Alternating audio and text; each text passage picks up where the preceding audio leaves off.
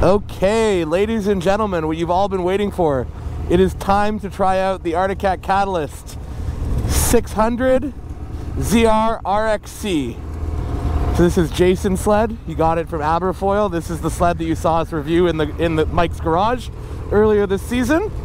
But we haven't had a chance to ride it, so now's the opportunity.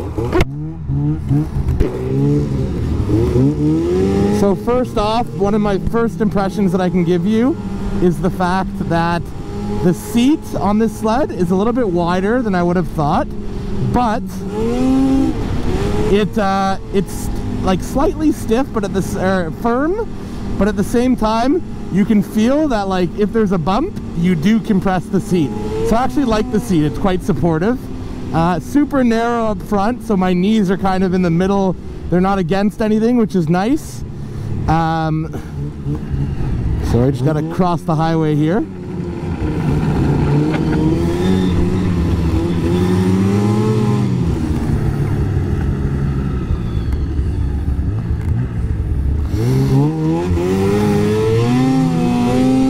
The other thing I will tell you is uh, the seating position in general. Again, these are just my initial impressions, right? Like I just got on the sled a second ago.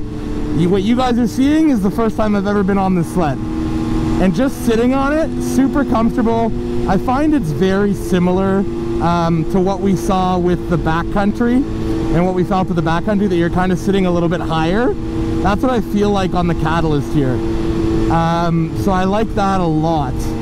In terms of the engine, this thing is an animal. It does not feel like a 600, even remotely riding this thing and earlier I'll throw some footage in. I was racing Jason and Jason on on this sled versus me on my 850 either he passed me or I passed him so we'll call it a tie. But neither of us uh, like neither sled was really that much faster than the other. So that's crazy when you're comparing a 600 two-stroke to an 850 so this sled definitely is super impressive. Riding it and getting on the throttle it feels like an 800cc sled. There's lots of power. Obviously, at the top end is where you're going to notice it the most. But in most trail riding, honestly, I don't think I would notice a difference between uh, this sled and my 850. In the like the average type of trail riding you're doing and going slowing down, speeding up, I wouldn't notice it at all. Now, the other thing I will say is this sled sounds like mean. Listen to it. Let's slow down here.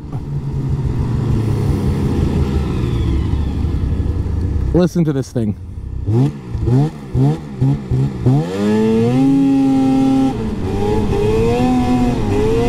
It just sounds unreal. And I like that a lot. Compared to other sleds, this motor sounds probably is probably the best sounding two-stroke motor, I think. Now, okay, what else can I talk about here? In terms of front end handling, just coming around the corners here, first impressions. Obviously, I know from Jason this has stock carbides. Um, it handles quite well. I would say uh, it's, it's kind of like it, you point it and it goes. There's a little bit of push, but if you lean into the turn, that kind of eliminates it. And I think what Jason has a set of uh, six inch triple points that he'll throw on the sled and I think that will cure his issue entirely.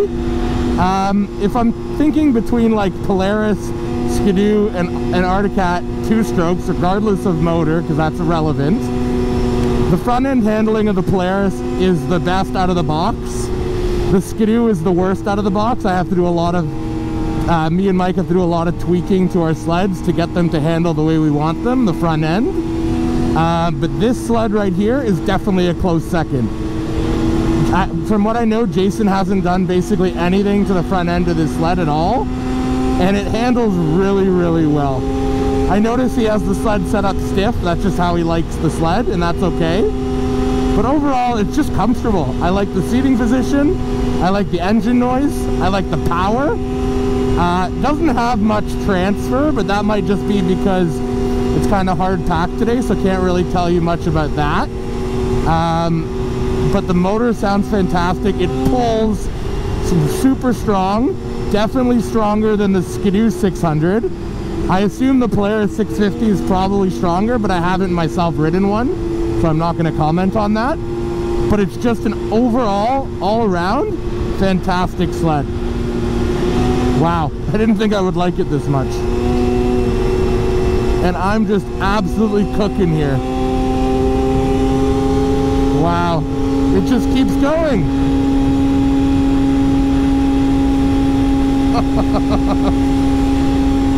and side note, the trails are absolutely mint. Woo. Wow. Wow. Just gonna come to a stop here. See how hard it is off trail.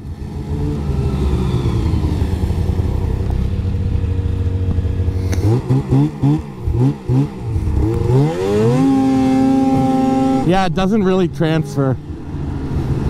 So that's interesting, but again, this is a trail sled, so that makes sense.